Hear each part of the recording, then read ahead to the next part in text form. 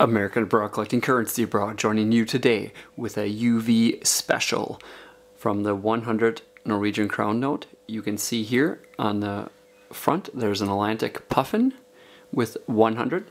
You can see all of the small UV reactive microfibers that look like they're kind of a red, white, and blue. You can see other markings here on the corners and when you flip the note around you can see here in the back 100 clearly displayed also with those other UV reactive fibers and threads that are randomly sporadically put through the note.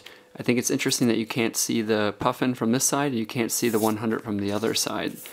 If you bring it over here to the light you can also see the puffin is also hidden here as a watermark with 100 again and if you move it over you can also see the security thread with 100 NB for Bank of Norway. So that is my quick little video here with UV reactivity. I'll be showing you other notes and what's hidden inside of banknotes that you don't see in plain sight or in plain view. Take care, thanks for watching, and I hope to see you again. Bye-bye.